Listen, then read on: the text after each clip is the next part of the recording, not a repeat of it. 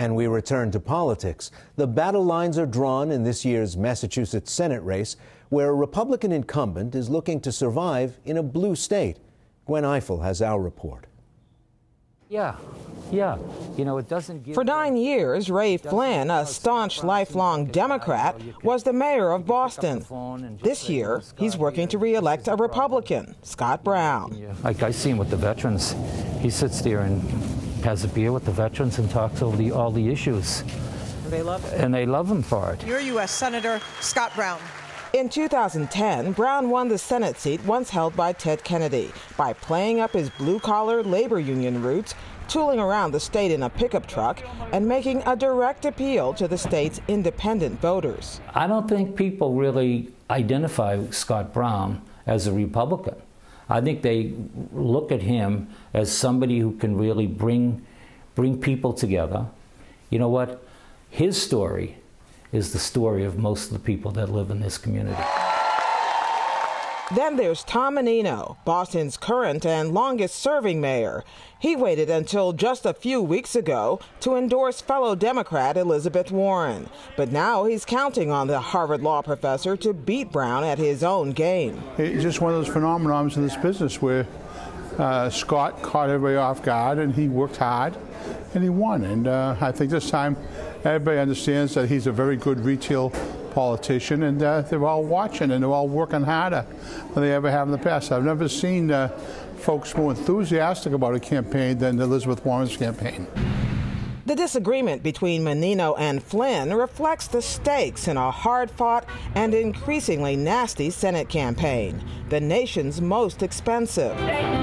Warren came to national prominence when she ran the panel that oversaw the National Troubled Asset Relief Program, or TARP.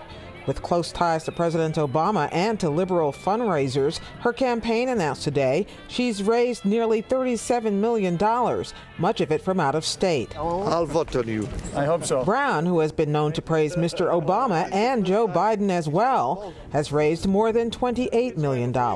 You know, for the Brown tells supporters that Warren is not what she says she is. You know, she says we need to invest in this, we need to invest in that. Well, with all due respect, that's code for a need to take more money out of your pocketbooks and wallets and give it to Washington where they're happy to spend it.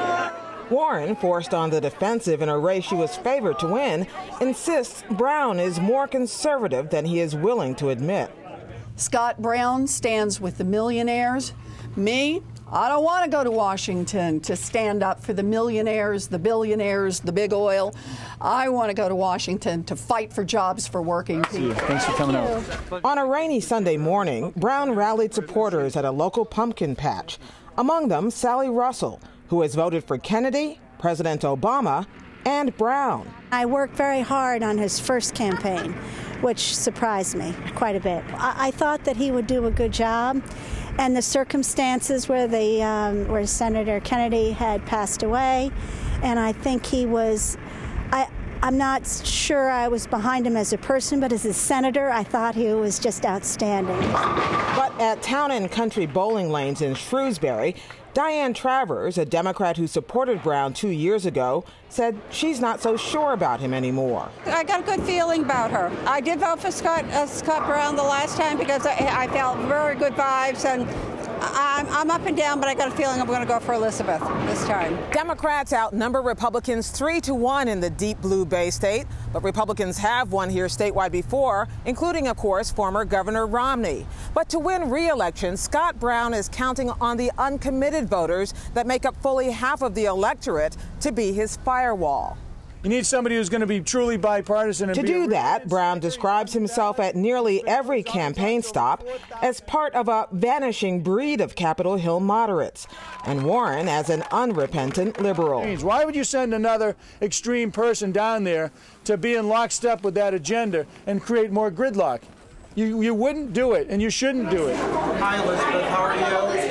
Warren, meanwhile, portrays herself as the outsider Washington needs. I talked to people before I was ever in the race, and they said to me, Now, Elizabeth, they said, You've never been in politics before, so you need to understand this. It's going to be mean. It's going to be the worst thing you've ever seen, but we sure hope you'll do it. I do have to say, I think we need a better sales pitch. Pollster Steve Koczela has been taking the pulse of the state's voters. A majority of independent voters in Massachusetts really do want Democrats to stay in control of the Senate. I mean, that's one of the real uphill battles that Scott Brown has been fighting. I mean, that's why you hear during the debates he'll say the word independent and bipartisan probably more than any other words. If you don't agree with my opponent, you know what she does? She attacks you. We caught up with both campaigns this weekend. You know, I'm a Republican from Massachusetts, so it's always an uphill battle to, uh, you know, do it better, be more available, to be more accountable. How much Democratic support do you need to win? Oh, I don't know. I'll leave that up to the, you know, the statisticians. You don't know? I don't. I just. I'm going to get. I'm going to get a lot of Democrats and a lot of independents and a lot of Republicans. And what is it that you're that you're saying to them that appeals? I don't have to say anything. I just have to show them my record of being that independent person that they sent down there, the guy that, that is not beholden to anybody, because I don't owe anybody anything. There is some concern that you're going to be such a lockstep Democrat that you won't listen to the other side. No, I think that's exactly the wrong way to look at it. Look, the financial punches that have come at America's working families have not respected party.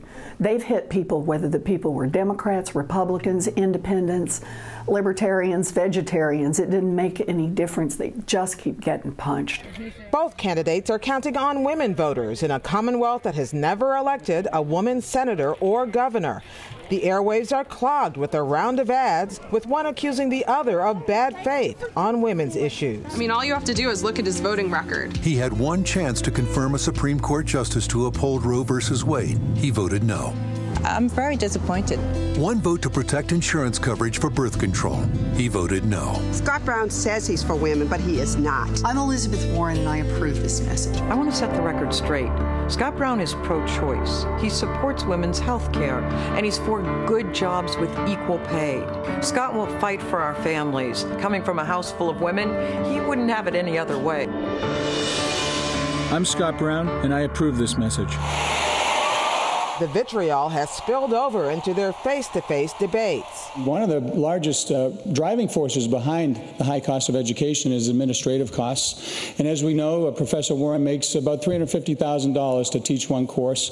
The women of Massachusetts need a senator they can count on, not some of the time, but all of the time.